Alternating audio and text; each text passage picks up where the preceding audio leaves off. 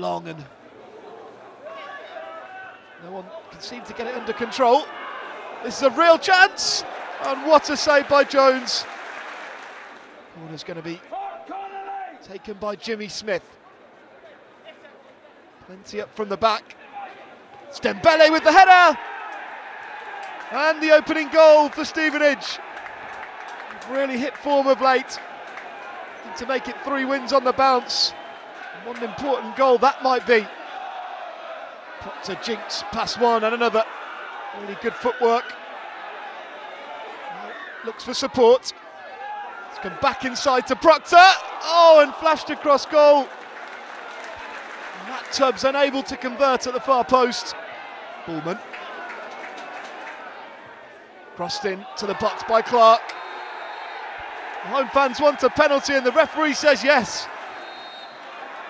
It's going to be Tubbs to take. And it's saved. Oh, Matt Tubbs.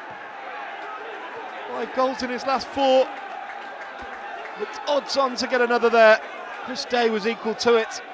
How important that might be in the context of their season. Oh, and it's deflected clearance from Dembele and real opportunity now.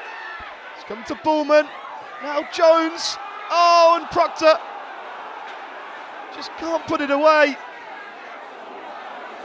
Well, how have they not equalised there?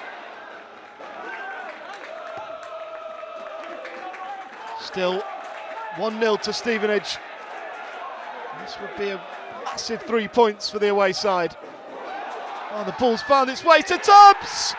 And he's equalised right at the death for Crawley Town. Agonising for Stevenage. Tubbs makes it six goals in five games. He's already missed the penalty. There's no mistake there.